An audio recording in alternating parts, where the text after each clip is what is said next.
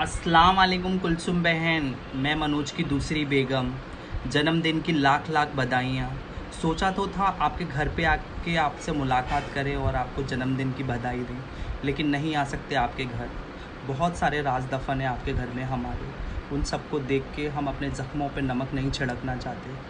खुदा ने हमारे साथ तो उनका जोड़ा नहीं बनाया, लेकिन आपके साथ बना अल्लाह आपका जोड़ा को सलामत रखे, बुरी बलाओं से दूर रखे, और आप दोनों हमेशा खुश रहो। अल्लाह हाफिज़